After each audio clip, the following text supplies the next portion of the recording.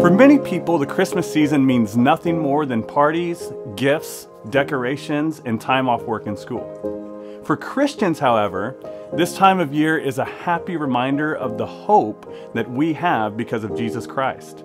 I love the words of Psalm 33, verse 22. Let your unfailing love surround us, Lord, for our hope is in you alone.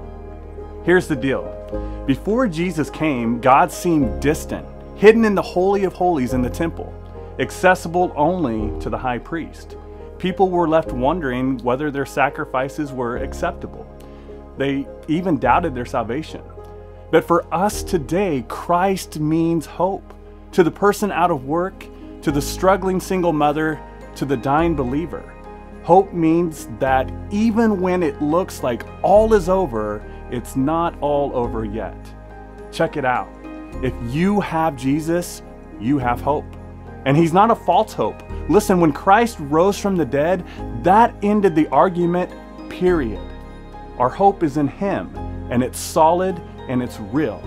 Hope has to do with trust and confidence. It's the resting of the human heart on God with full trust that He will care for us and our salvation, and He will give us the happiness that He has promised. It's an eager expectation, and anticipation of what is sure to come. Take a look at Romans chapter 8, verse 23 through 25. We believers also groan, even though we have the Holy Spirit within us as a foretaste of future glory, for we long for our bodies to be released from sin and suffering.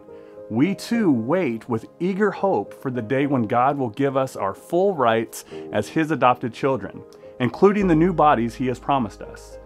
We were given this hope when we were saved. If we already have something, we don't need to hope for it.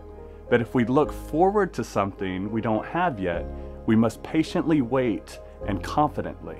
Listen, God wants us to live with hope and assurance that all His promises will come true for us and that our future is firmly and safely secure in His hand for our good. This was settled long ago, so we don't have to doubt anymore. Christmas is a renewal of hope, and Jesus is the fulfillment of our hope. This Christmas, may God, the source of hope, fill you completely with joy and peace because you trust and hope in Him.